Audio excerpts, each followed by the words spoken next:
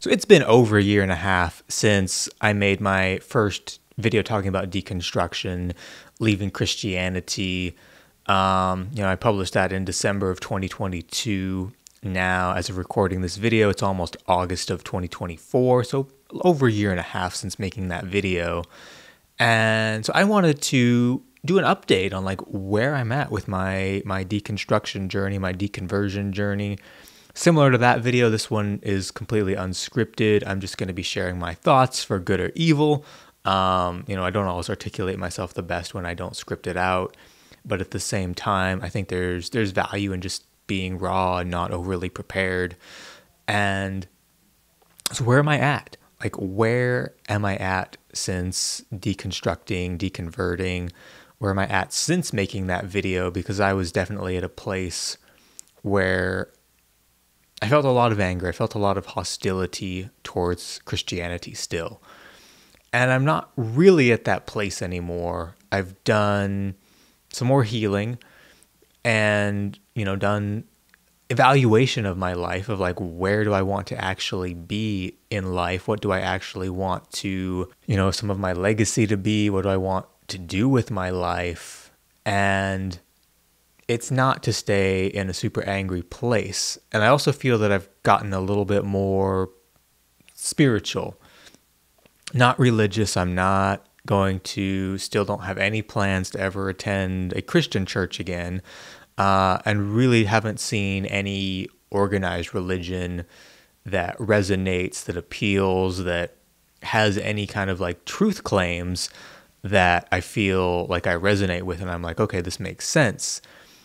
That said, I definitely do feel a sense of kind of spiritual coming back, kind of in the form of, you know, meditation, in the form of, you know, a little bit of like self hypnosis, a little bit of, you know, affirmations, a little bit of just being in nature and experiencing nature in a little bit of creativity, trying to kind of experience, I don't know, a spiritual feeling, a greater feeling through creativity, through filmmaking, even through like making making videos like this. There's sort of like I don't know, a spiritual experience and it's hard to even like define what is spiritual because everybody defines it differently. But I guess I would define it now as like a connection to something greater than myself rather that's kind of the the collectiveness of humanity or nature or you know even even playing with the idea of maybe there is some kind of deity maybe there is some kind of consciousness some kind of like collective consciousness that's you know kind of just like connecting everybody um you know all of that kind of stuff. I've gotten gotten interested in and i'm exploring that. Um, you know i'm not saying that i that's like where i've fallen. I've also gotten much more comfortable not knowing.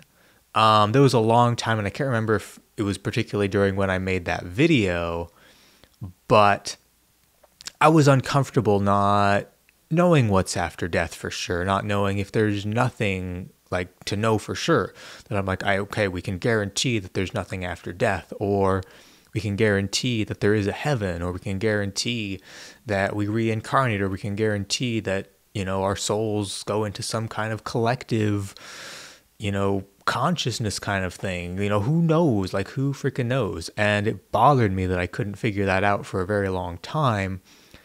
And I've I've come to a place where I'm at peace with it. I'm okay not knowing uh, and just kind of accepting that I'm not going to know. And like, that's fine. That's okay. I don't have to know for sure about any of this stuff. And at the same time, it gives me the freedom to explore different ideas. You know, if I ever want to explore what Hinduism is all about, if I ever want to explore what Buddhism is all about, if I ever want to explore, you know, other philosophies, Confucianism, uh, you know, what the Greek philosophers thought. If I ever want to explore some of that stuff, there's nothing holding me back from it. There's not that staunch atheism, well, it's all nonsense crap. and there's not the Christianity that's you can only follow the one way. It's only through Jesus. Um, so I sort of feel a little bit more free from that to explore. I still would define myself largely as agnostic atheist in many ways, but I would also maybe define myself as spiritual, not religious. It's it's kind of a weird dichotomy to be honest. Um, but that's where I'm at, and that's okay because I, I feel like it's it's a journey. I don't have to arrive. There was a long time I felt like I had to arrive, and it had to all make sense, and I had to have all the answers and I would watch tons and tons and tons and tons of videos about everything and learn about everything. Um, I don't watch near as much um, apologetics, counter apologetics, uh, history, you know, biblical history kinds of stuff as I used to. You know, occasionally I'll pop on a video.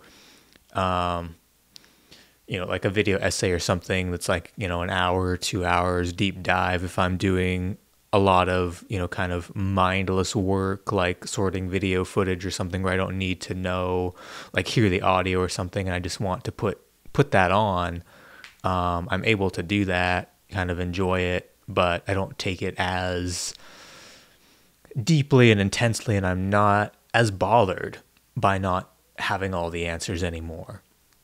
Um, and I think that that's just a process that's natural because as a Christian you feel like you have all the answers. You feel like you've got the Bible, you've got God's word, you have a direct line to the creator of the universe, so you've got all the answers. And if you don't, you're going to be able to find them because God's going to reveal it. And then when you leave and you suddenly you like you have all at least for me when I left I had all suddenly all of this like scientific knowledge that I was learning and this history that I was learning and all of this stuff that I was learning. And I felt like, oh my gosh, now I've really got all the knowledge. And, but I still don't have these answers. So there's gotta be, there's gotta be, and sort of like that, that rat race of trying to find and know that you know that you know that you're going to heaven tonight if you die kind of thing that Christians, um, at least back in the early 2000s really like to hit you with in evangelism um, or you know as an atheist i know that i know that i know that there is no god and that this is all there is kind of thing. Um, i don't feel like i need to be in that place anymore. I don't feel like i necessarily have to know because the truth is like it, it changes. Like you know i'll read a book and i'll test out the ideas or i'll listen to a meditation and kind of explore ideas maybe in that meditation and see what resonates, what doesn't, what rings true, what doesn't, all of that stuff. And it's very, very powerful. Very, very powerful. And so that's really kind of a cool, cool thing. Um, but yeah, I guess that's a lot of where I'm at is just kind of exploring more rather than feeling like I have to have all the answers. Um, a lot of, I won't say all, but a lot of kind of the deep rage that I felt at Christianity has passed. You know, sometimes there are still certain things that will trigger me, that will frustrate me, that will get me angry. Things like you were never a real Christian is probably still one of the biggest ones that's an angry trigger for me. And I'm not sure. I'm still kind of exploring why that is. Why does it bother me so much? that people don't think that I was an authentic Christian. But that's you know something I'm I'm working on. But a lot of the stuff I've been able to move through, heal, move on from. A lot of the wounds and a lot of the damage that Christianity did, I've been able to move through. I'm still there's some parts of it that are deeper that I'm working through. Some of the damage from purity culture still working through, still kind of trying to figure out a lot of that.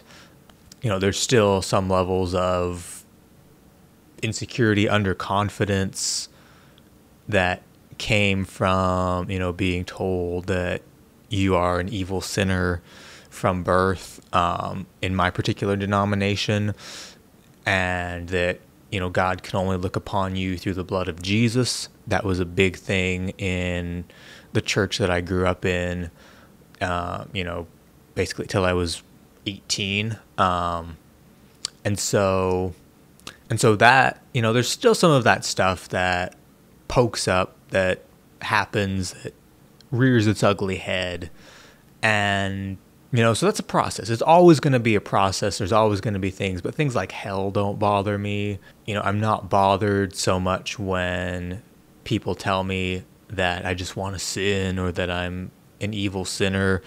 Uh, you know, I fundamentally reject the idea of sin in in that sense, uh, and kind of that dogma and that control aspect of things, um, kind of the patriarchal way of viewing the world. I've largely rejected. Uh, I'm just I'm not into that, and so a lot of that stuff has moved away, has changed, is gone, and it's it's really nice to be moving forward.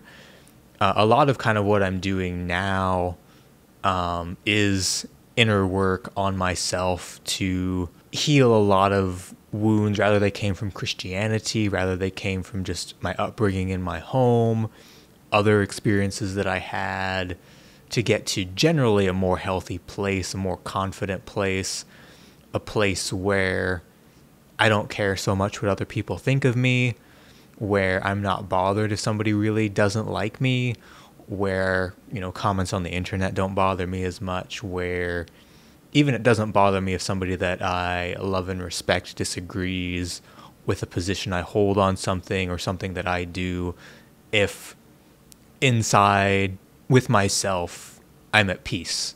Um, why should I let somebody on the internet bother me? Um, but it does. And so, what that speaks to me is there's something unhealed, some part of me that feels like desperate need for approval from people that I like and respect, and I need them to agree with everything that I do, or somehow my world is a little unbalanced. And so, you know, I'm working through some of that stuff. I'm working through those emotions as they come up working through different wounds, you know, reading some different books, getting some different ideas, some different philosophies. As far as things that, you know, are helping to heal me and helping me to move more into who I want to be to create the life that I want to create.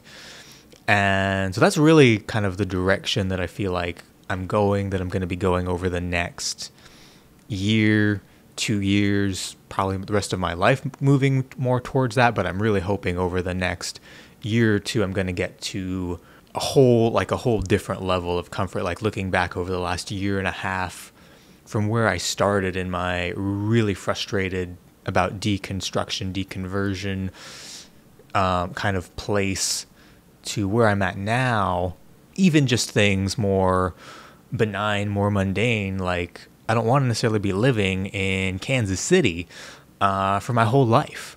Like, I want to move somewhere that is, you know, more tropical, more beach, maybe somewhere that has a little bit more mountains, more nature, um, just like more than the Midwest to really feed my soul with all of the nature, feed my soul with the sound of the ocean, the warmth, the just all the amazing nature that's in our world. I want to, you know, have the confidence to travel more.